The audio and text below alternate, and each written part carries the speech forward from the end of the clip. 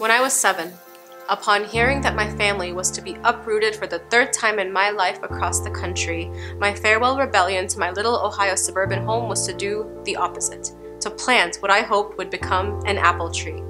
A few brown seeds of the last apple I ate went into a hole in our flower bed I dug with my grubby little hands, desperate to return one day and discover quite literally the fruits of my labor.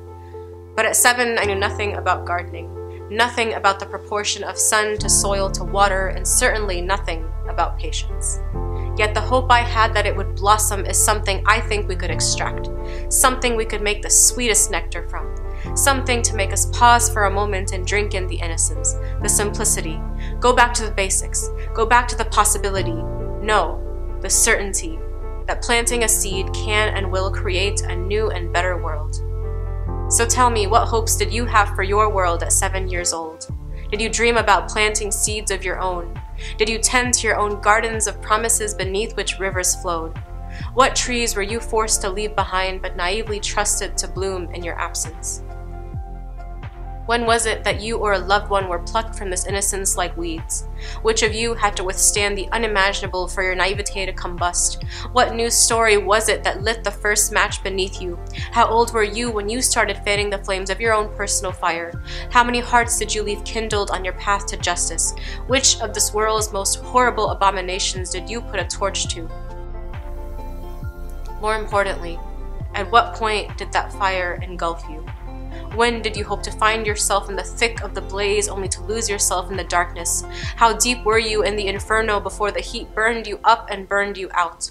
Listen, I've written a lot of poems about rage and fire and the anger required to tackle the monsters we only thought would haunt us in our dreams. I too have fought and cried and tried to wake up, but found myself on the front lines, on the phone, online, with the leaders, the lava cooking me alive, and I too have daydreamed about what the world would look like if we burned it all down and started over.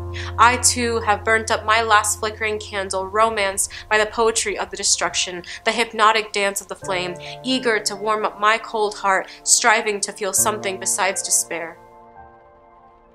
And yet there's a reason burnout contains the word burn. There's a reason fire only takes us so far when we are left with a colossal pile of ashes and charred remains, asking now what? Know that it is not fire that will create a new world but water, because even after the great flood, a dove still returned to Noah's ark with an olive branch. Did you know that as babies, water makes up 78% of our bodies, dropping to 65% by the time we reach our first birthday? Maybe that explains why we are so full of life as children, so full of virtue. What a gift that the answer has been gushing within us this whole time, that the sea ebbing and flowing within our very bodies has given us a lesson in balance from the moment we were born. Did you know that water asserted its dominance on this planet millions of years before fire ever could? Did you know the reason you can see the Grand Canyon from space is because a persistent ocean, now long gone, knew it could literally change the world? Water is the most versatile thing to ever exist. It is the only major substance that can take on all three forms of matter, adapt to its environment. No need for it here, it will evaporate and bless the gift of itself somewhere else in the world. Too cold and it will work to preserve its freshness by transforming to ice.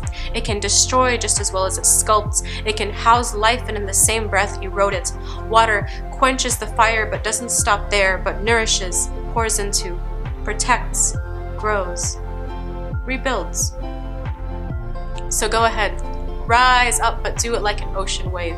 Go crashing down only to come right back Erode those systemic barriers but be a monsoon. Shower them with so much of your rage but leave flowers and budding crops in the process. Safeguard your people with a fury but be like the glaciers, which love fresh water so much they have been calmly rock solid to protect it for thousands of years.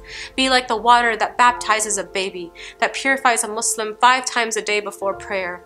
Moses may not be here to split the Red Sea anymore, but the pharaohs of our time without a doubt will drown in our love.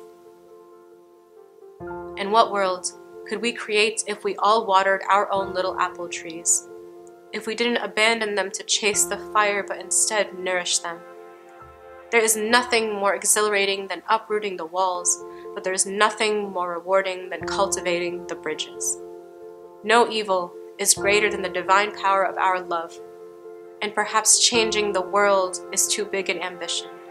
But there are endless possibilities when planting new seeds.